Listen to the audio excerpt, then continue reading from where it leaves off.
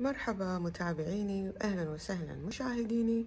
أرحب فيكم قناتي اللي نتكلم فيها عن النباتات الداخلية في بيتي اهتمام ورعاية بدون شمس. اليوم أنا مجهزت لكم ال Philodendron Prince of Orange نشوفها إن هي ساقها لونه برتقالي برتقالي على أحمر في أحمر في برتقالي كذي هالسالفه وهي لو إذا عندها تصير وايد راح نشوف ان أطرافها فيها برتقالي فيها أحمر برتقالي يعني شي هو مايل بين البرتقالي وبين الأحمر. فشلون نهتم فيها داخل في البيت؟ على حسب بيئتي أنا في البيت مثل ما كلنا عارفين متابعيني اللي اللي يتابعوني يدرون إن أنا بيتي ما في شمس وما عندي تهوية غير السنترال الداخلي فالبيت على طول بارد. شلون نهتم فيها؟ طبعا على حسب إضاءة البيت مثل ما إحنا عارفين مجهزت لها مكان إن هي تقعد تحوشها قليل من الإضاءة لكن على طول. وأسقيها على حسب نشفان التربة تاخذ معاي شهر. شهر على ما تنشف التربة فأسقيها. وبهذه الطريقة أشوف إن فيها نمو. النمو موجود. قاعد تطلع الأوراق الجديدة وكلهم حالهم حلو. وال orange قاعد يبين فيهم. حتى لو نشوف هني هذا الساق فيه شوية orange. حتى هذا حتى هذا. في ال orange اللي شوية مايل على الأحمر. وبالنسبة حق المغذي أنا إذا شفت فيها نمو عطيتها مغذي مع الماي طبعا. أه وقف حالها ما قامت تطلع نمو أعطيها ماي عادي. طلعت نمو رديت مرة ثانية عطيتها مع مغذي. فهذه هي ال Philodendron Prince of Orange هذه واحدة من الانثاريوم جميلة جدا. كانت هي ثنتين بحوض واحد قسمتهم وزعتهم على أحواض فخار. لأن شفت أن النمو والمساحة والجذور كانوا وايد كبار وايد نازلين لتحت الحوض. فقلت خلنا أقسمهم وجذورهم للأمانة كانوا وايد كبار ويعني فيهم سماكة.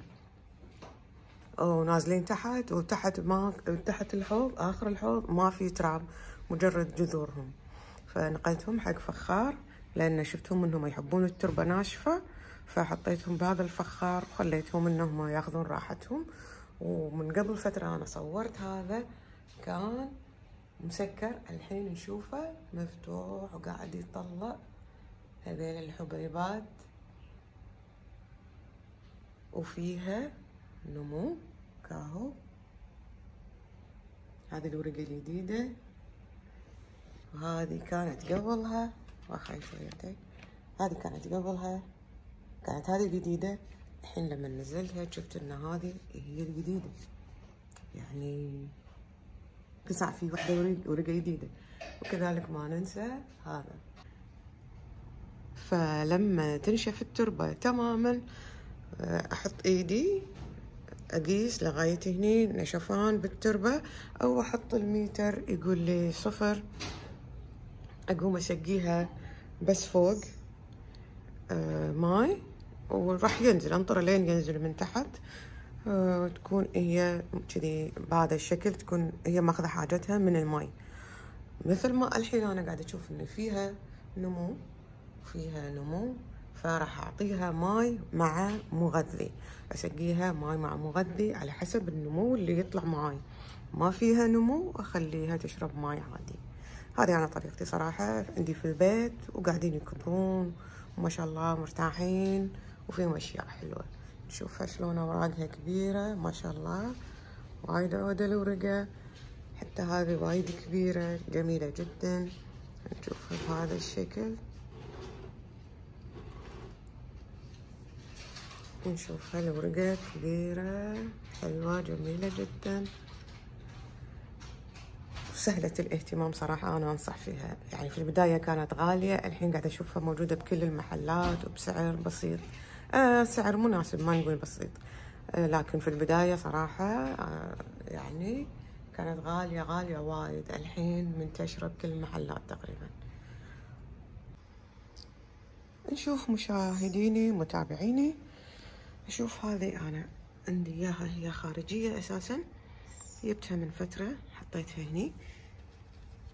هي أساسا خارجية موجودة بكل الشوارع. جبتها حطيتها هني. هذه واحدة من اللي موجودين على الدري جبتها حطيتها هني. قلت خليني أجربها تعيش تحت ال grow light فأشوف طلع معاها هذا الشيء.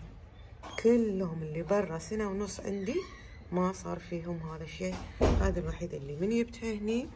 طلع معاها هذا الشيء الجميل. وايد شكله حلو. أظن إنه راح يكون ادري يمكن وردة راح يصير. بس صراحة يعني ما شاء الله عندي الفد الليف هذيلا كلهم يدد الاوراق وأنا قريت عن هذا الموضوع ما في شيء ما فيها مشكلة. وهذيلا اليدد. هذه من يومين توها طالعة والحين قاعد تكبر وتشد. توني رشتهم نيم أويل عن الحشرات وغيره حتى يعني نسبق الأحداث. بس نشوف النمو والتطور. معلش عشان قاعدة أشتغل. فما شاء الله حتى عندي هذه كبرانة وايد وقاعدة تمد وتمشي. بس أنا بغيت أوريكم هذه أكثر شيء. صراحة حبيتها وايد. ان شاء الله هي راح تكبر راح تمشي راح توصل. أدري إنها راح تصير هي هي أساسا كبيرة طويلة سوري طويلة طويلة. فراح تمد هذا. ما يخالف ما عندي مانع. مدة وكبرة يسوي اللي تبينه. إذا أنت تقدرين تعيشين عندي في البيت. عندي هذيلا ما شاء الله. جميلين جدا. وكذي متابعيني مشاهديني. أتمنى لكم يوم سعيد. باي.